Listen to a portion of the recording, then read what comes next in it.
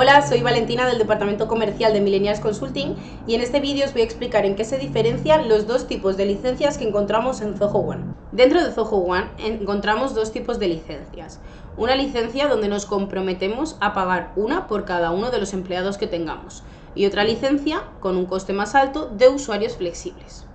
La pregunta que yo le hago a mis clientes es, ¿necesitas que todos tus empleados accedan a Zoho?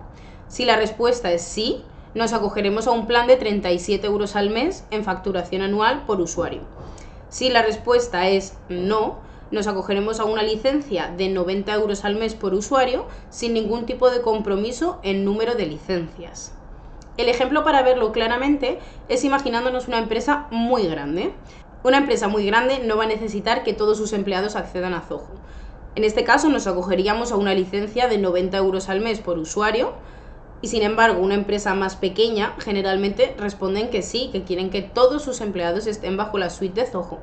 Entonces nos acogeremos a una licencia más económica de 37 euros al mes por empleado en facturación anual, pero comprometiéndonos a que cada uno de nuestros empleados va a tener licencia dentro de Zoho. Posteriormente podremos asignarle a cada uno de nuestros empleados la aplicación correspondiente o las aplicaciones correspondientes y los roles que queremos que desempeñan en cada una de estas aplicaciones. Si te ha gustado este vídeo, dale me gusta y suscríbete a nuestro canal. En la cajita de descripción te dejamos un link para que pruebes Zoho One durante 30 días gratis.